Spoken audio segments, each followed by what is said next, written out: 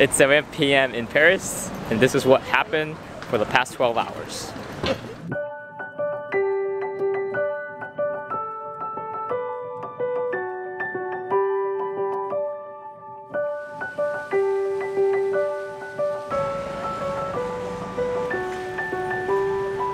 We are Bernard and Weedy.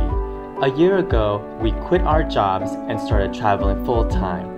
Join us as we scour the world for amazing street food, serving up glamping style, and getting lost in all of the adventures. Here's to sharing those travel secrets and living the off beaten path.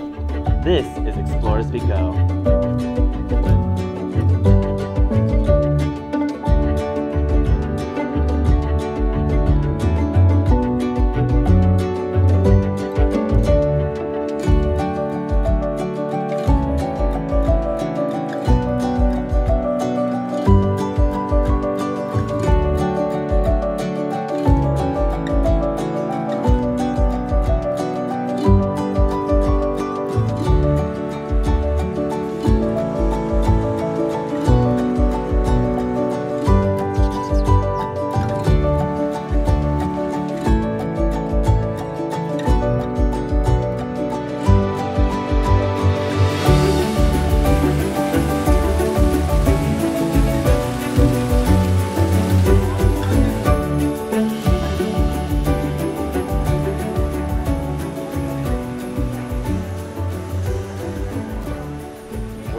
Absolutely starving because I only had a sandwich this morning.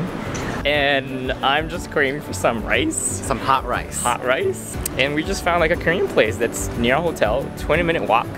It's a little cold here in Paris that we kind of not anticipated.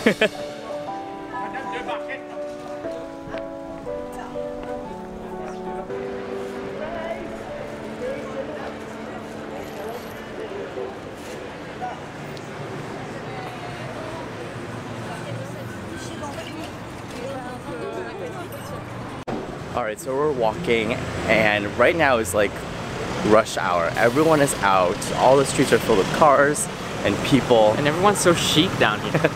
we realize that the Paris time it starts much later. Like the restaurants don't open until 7, 7:30, and on top of that, they just take their time. Everyone's kind of just moving at a at a slower pace, and it's very relaxed, and it's kind of nice. There's like a very cool and relaxed feel about the Parisian. All right, we're almost to our restaurant, and then we're gonna go eat. Let's go.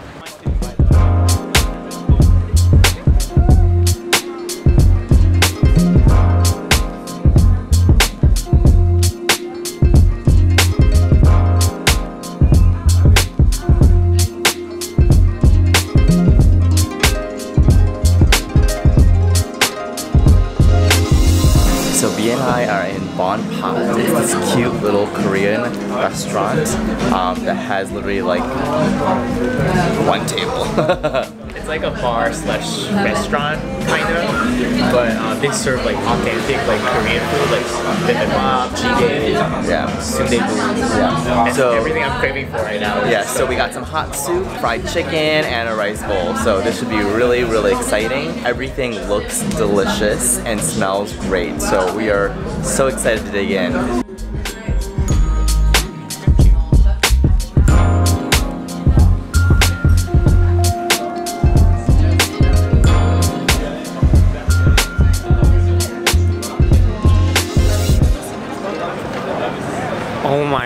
Was so satisfying.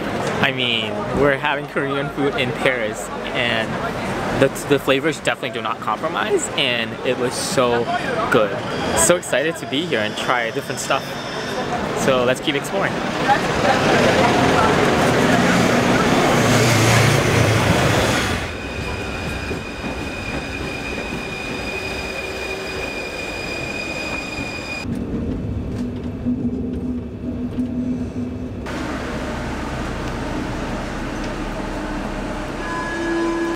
Good morning. So today, Bernard and I have something planned uh, that's super, super awesome because we love doing this everywhere we go. we have booked a free walking tour of Montmartre in Paris, and it should be about two hours where they take us around, We get to see the Moulin Rouge and We're actually in the Moulin Rouge, right down here. Yes, the Moulin Rouge is right behind us, and uh, we get to you know learn a little bit about the history and what happens around this area. So we're super excited. The walking tour is right behind us. We just had uh, breakfast this morning, so we're ready, energized. We have our coffee and tea, so we are ready to go on this tour. You ready? Cheers! We began our tour marveling the famous Moulin Rouge, and then making our way down the romantic cobblestone streets of Montmartre. Here you will find many cafes, restaurants, and pastry shops.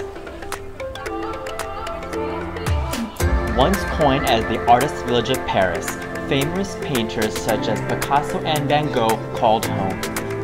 Historically, Montmartre was always a working class neighborhood which attracted plenty of artists to settle here. When you're in Montmartre, you will see many colorful historical houses, street art, and graffiti splashed on every corner.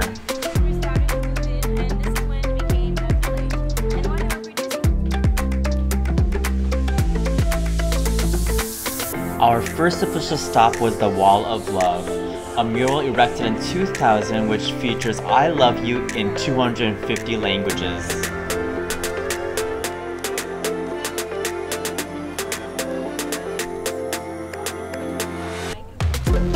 Our next stop was Les Maison Rose, which translates to the pink house. Despite being named the pink house, it was not always pink. The house is over 100 years old and served as the HQ for many artists to gather and exchange ideas.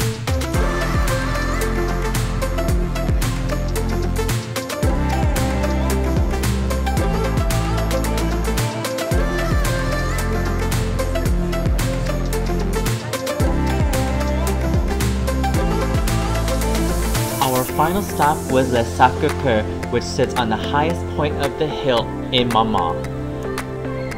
Meaning Sacred Heart, this romantic basilica had impressive architecture and attracted many lovebirds.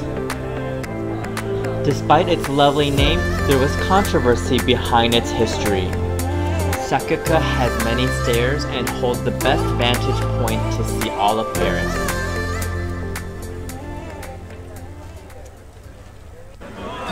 Wow. I feel like we're on top of the world right now. So beautiful.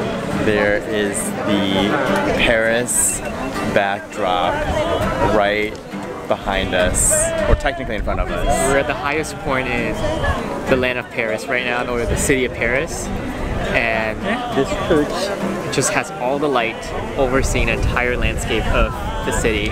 Uh, there are a lot of uh, locks on like the fences around here, so Paris is known for the city of love, and there's definitely a lot of that going around. People embracing each other, kissing, and uh, you know listening to beautiful music. Serenading, that's the word. Yes, serenading all of us. I just can't believe we're here.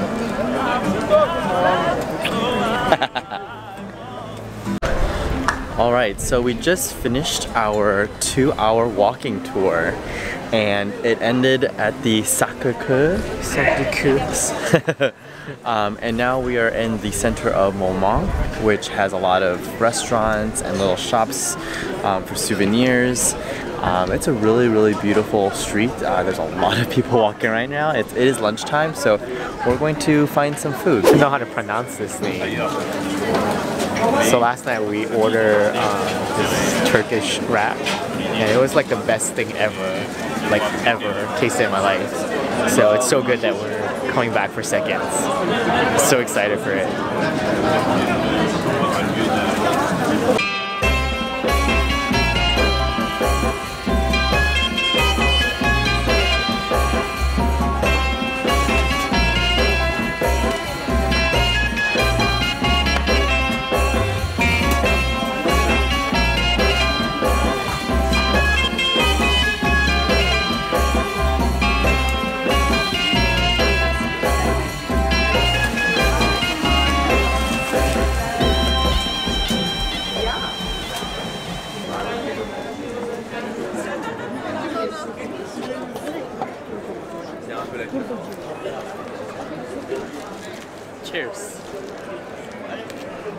Oh my god, it's piping hot. Because yesterday when I brought it back to the hotel, it was still like cold. I mean, it was still hot, but it's piping hot right, now.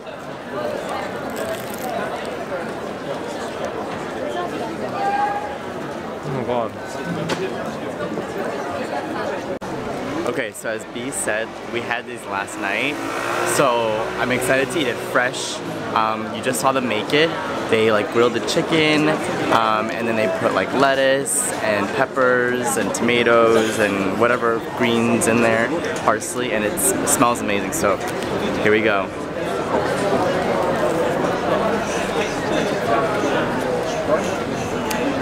Wow. This is a totally different experience when it's like made fresh. Um, definitely try it out. Um, it's a nice little wrap restaurant. Turkish style that's near Gare de l'Est, so like walking distance. Um, there's a line out the door as you can see and people are just waiting to get their wraps. Um, they're ranging between like 6 euros to about 10 um, and it's super delicious. So when you're in Paris, definitely try it out. Cheers.